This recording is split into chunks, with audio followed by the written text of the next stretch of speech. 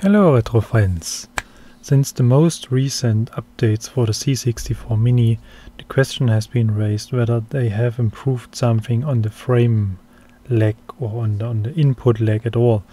So I was um, spending some time thinking about how to test this, especially in uh, comparison to the original um, C64 Mini. And um, since I haven't found a way to downgrade the firmware, perhaps just renaming it could work. I haven't tested this yet, but uh, since I have some some other plans as well, I got another one. So I got one original uh, C64 Mini and one with the most recent update on it. And um, the thing is that um, testing so-called input lag, it's a little bit tricky because you can't really judge when you have pressed the button and when the, the signal was initiated, so to say. And uh, I came up with the idea that uh, I kind of disassembled the original joystick and added an LED to it. And um, this LED is uh, usually on when, when no button is pressed. And uh, we may just um, simulate this, no problem. There we go. And as soon as I press the fire button, the LED goes off. And therefore I have really an uh, one-to-one -one indicator whether I have pressed the button or not. So in the original design, the Mini comes with a joystick that um, is, well, a little bit um, cheap, so to say. And uh, if you press buttons or if you move the stick, there's a lot of uh, way without action, without activity on the electrical side, so to say. And therefore you got the impression that it takes ages until something happens on the screen. And just to avoid this and to have really an indicator whether I have pressed the button or not, I kind of modded this um, joystick and um, I was using this against the screen to capture the input lag and for this I used my old uh, Hero 3 set to 100 Hz recording, 100 FPS recording, just to have some better discrimination between the frames and to see whether something really happens on the screen. And then I went to um, a setup like this. So this is what I've used to check a normal C64 board uh, connected to FrameMeister. So you can see the uh, Hero 3 on this uh, tripod in, in the foreground. And um, I used this um, Pi 1541 and an SD2IEC device against the screen to see whether something happens on the screen on, on the LED. You will see this later on in the video how it looks like but uh, now perhaps let's start with the mini and with the most recent firmware. And um, as you can see I'm holding this uh, modified joystick board against the screen. And as soon as I press a button the LED goes off. And then we will see a frame count in the upper left hand corner. And we can see how much frames it takes until the signal is processed and until we see a response on the screen. So the first frame has been uh, the LED is still on and the last frame is the fire button has been fully pressed and there's another run just to have some uh, statistical significant samples here and it's almost the same. It's about uh, 15 to 16 frames at 100 hertz 100 fps recorded so we have to divide this by 2 so it's about 8 frames um, lag. And uh, considering that uh, we are talking about uh, 15 uh, frames per second 8 frames it's um, it's really it's really huge. It's a lot. So I think for most of the games like jump and runs and all that stuff you can learn to adapt to this because uh, I mean it's it's kind of predictive. If you have to jump, you jump a little bit early or something like this.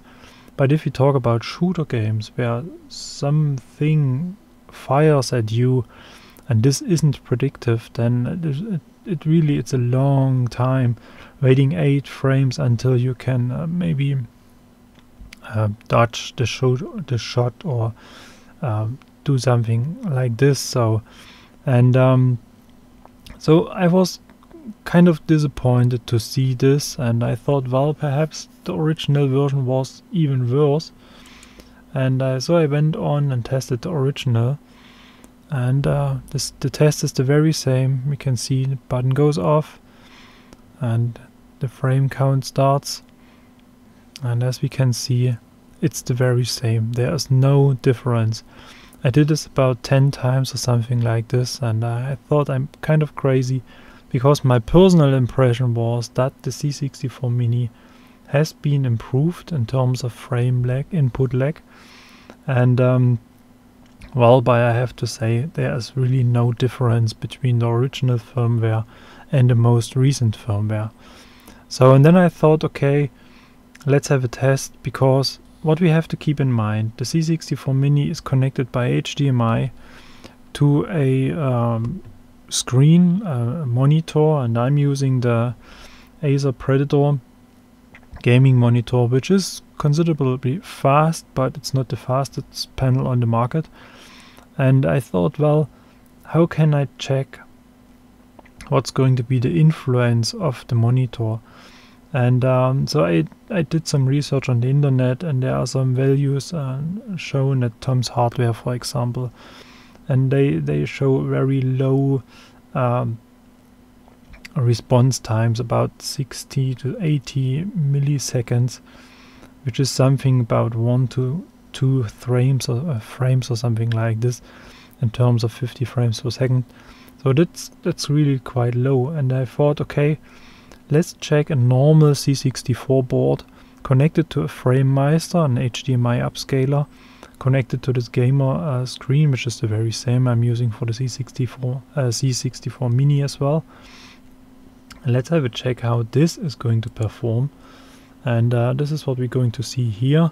So this is a test especially made for uh, checking the video lag. And uh, the test is using the LED of the floppy drive. And um, this goes off immediately as soon as the program says go off and then it takes quite a while until the screen uh, gets updated and uh, I can have another one I did this with the Pi 1541 and I did this with an SD2IEC device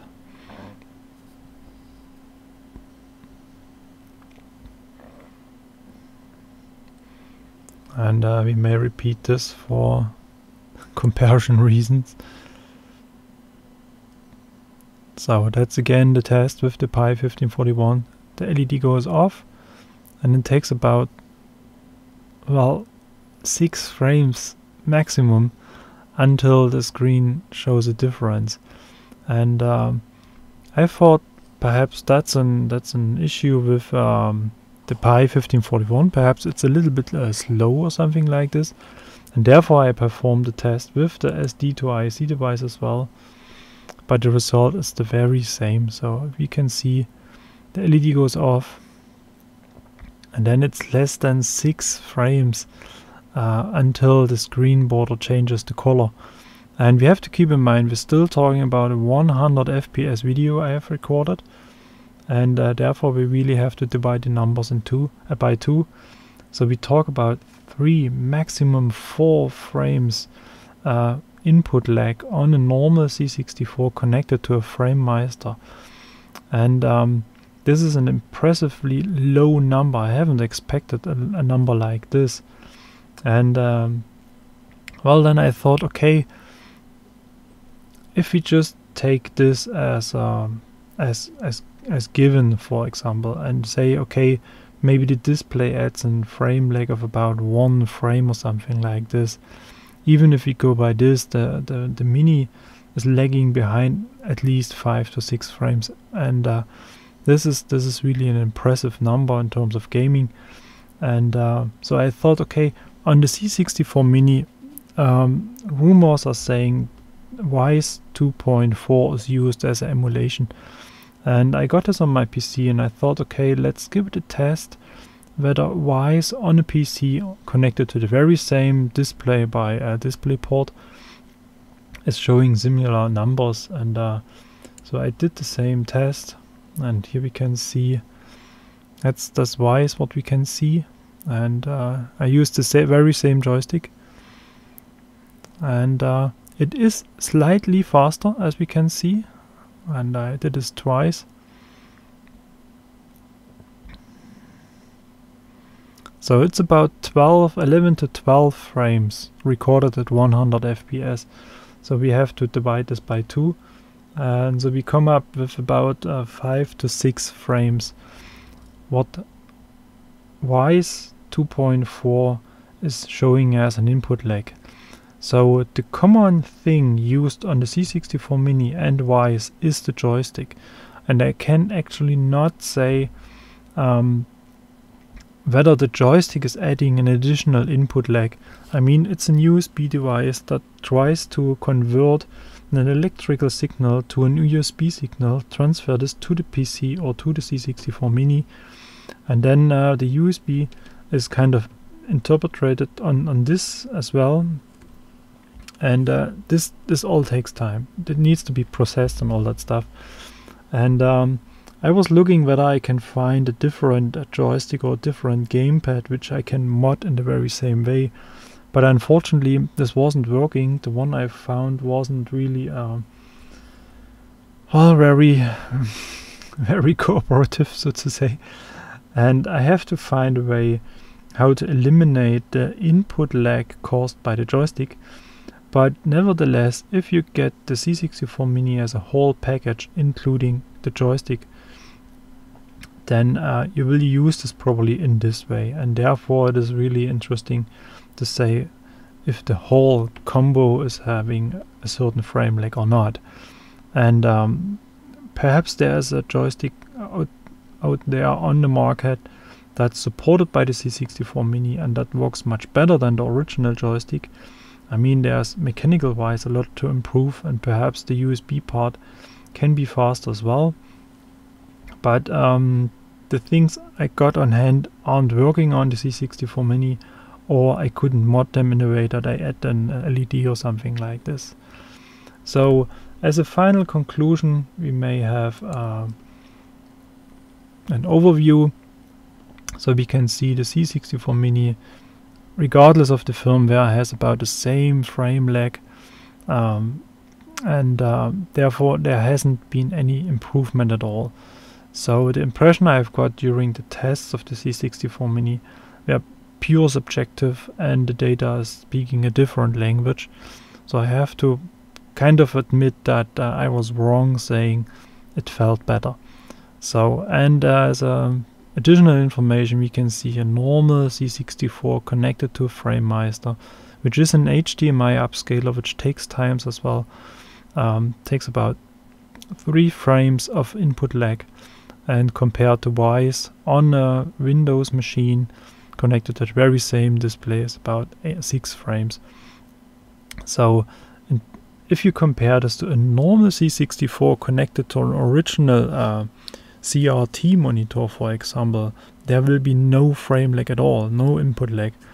And uh, if you're a hardcore gamer or die-hard gamer and you're looking for action games like um, uh, all the shooters out there and all that stuff, then I think going this path is probably not the best idea. But if you're a casual gamer, a gamer who is just using games for entertainment and who's playing jump and runs and all that stuff, I think the C64 Mini is still an impressive device.